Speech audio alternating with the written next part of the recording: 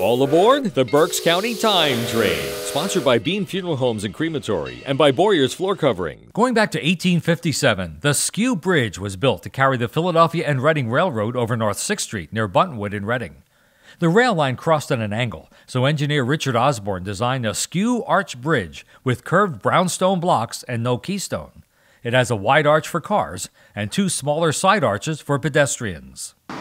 It's also called the Soap and Whiskey Bridge because Osborne first built a design model of soap blocks, and because construction was done by Irish laborers who earned 25 cents a day and several jiggers of whiskey. The Skew Bridge, or Soap and Whiskey Bridge over North 6th Street, still carrying trains straight through Reading.